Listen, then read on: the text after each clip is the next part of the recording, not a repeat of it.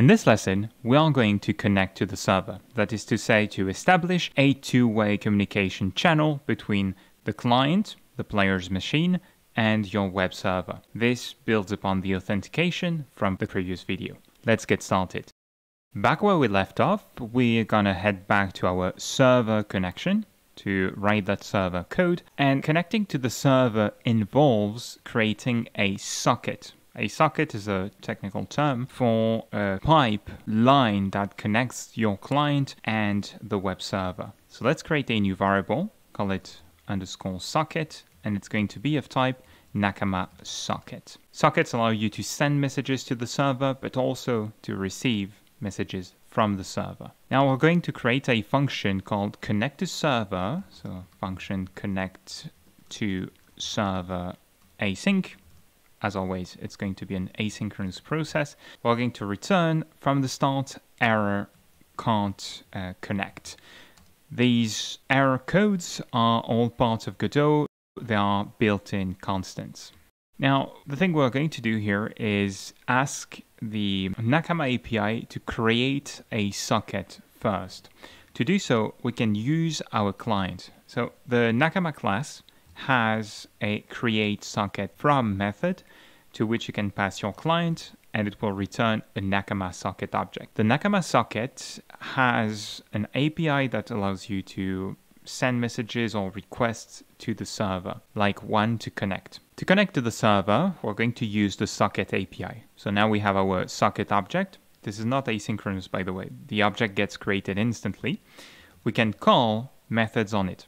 Connect async is one of them, and it's the method that allows you to connect to the server. This one takes our session object as an argument. It's asynchronous, so we have to yield over it. I'm going to add some parentheses around that, use the yield keyword, and wait for the function call to be completed. Then we're going to store the result from that call again. So we're going to create a result variable. It's going to be of type Nakama async result, and it's going to store the resulting object there.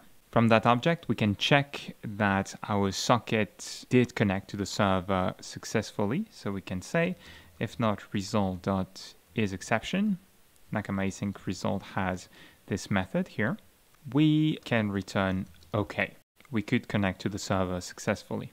Now, we can do a bit more than that from the socket, and this is where it gets interesting. So you will be able to use the socket API. I'll click on connect async to jump to the source code where you have all the code documentation. So you have lots of uh, methods like add a matchmaker, create a match, etc. to create a match between players. Well, all sorts of things you want to do in your game, but you also have lots of signals as you can see at the top of the Nakama socket class. You will get, for example, a signal telling you when a socket was closed. Imagine that it was closed by the server closing the connection, then you can free your socket to ensure that you won't call methods on it. You also have some messages you can receive from the server telling you that other players are connected, like received channel presence, this is for the chat.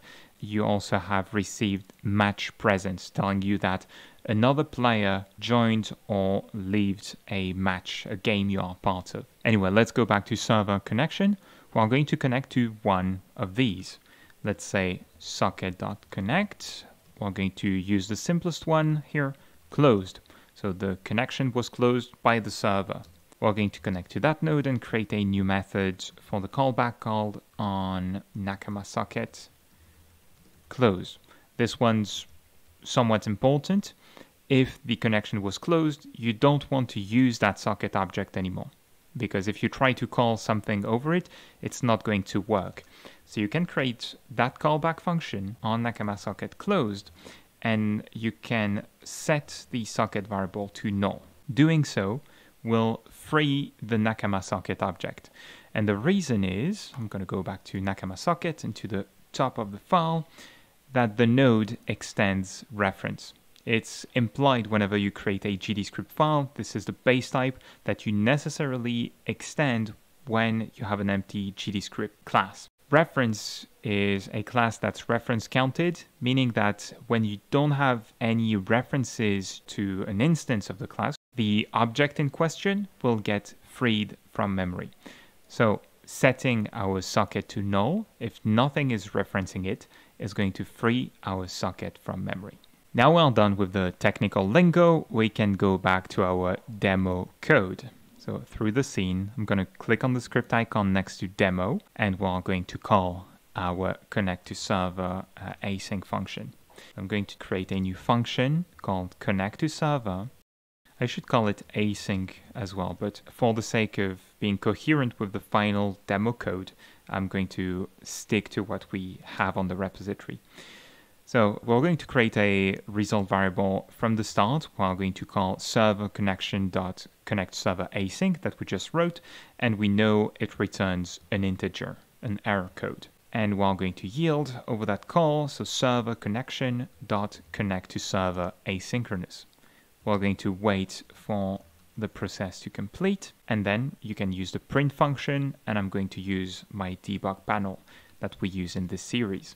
So if the result is okay, we're going to write a message to the debug, panel. We connect it to the server. Otherwise, uh, we can say if we get error can't connect, because we know that's the error code that we are going to receive, we're going to say could not connect. With that, in the ready function, we can add a new line. As always, we're going to yield connect to server, and we're going to wait for it to complete. It's just as a base for the next step in the series for the next lesson. But with that, you can press F5 to see that we authenticate still as before and we have a message connected to the server. With that, we have the server connection established. In the next segment, I'm going to show you how we implemented similar code in the final Godot Nakama demo, which is much more complex. So I'm going to give you an overview of that code. And in the next lesson, we'll talk about joining the game world, joining a match. In the final demo, the server connection happens way after the login. So you first log in, and it happens right there when you confirm the character you want to use and you enter the game. The server connection, the creation of the socket to communicate with the server, happens between these two parts. Let's see how exactly. So I'm going to go to the main menu.gd script from the main menu scene and navigate down to join game world async. This is where the server connection is happening. Let me expand the script editor. So here, you can see that we have a call to join world async. This is something we will talk about in the next lesson. The connect to server is very similar to what we did. We call connect to server async on server connection. So this is about the same so far as what we did in our connect to server async function from the demo. I'm going to control click on this to jump to the server connection script. And there you can see there's a little more code. So same thing, we create a socket from the client using the Nakama API. We then call socket.connectAsync. The session in the final demo is stored on a delegate class called Authenticator. So instead of being underscore session, it's stored in a separate class that stores the session from the user. And then instead of using result.isException, we have a little helper class that's going to pass the exception and return an integer for us. So it converts the Nakama result to an integer, but it does a bit more than that. Anyway, if our result is okay, then we connect to the various signals that we want to connect to on the socket API connected, closed, received an error, match present, which we'll talk about a bit later. And that is it. It's very similar to what we did in the basic demo. We just do a bit more. We connect to a few more signals. I'm going to jump to one of these callbacks or search for it. It seems I can't jump to it like that. So you can see that when the socket gets closed, we set the socket to null, just like in our basic demo. Then we have some more code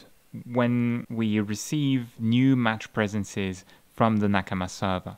This is a server telling us that a user left or joined the world we are part of.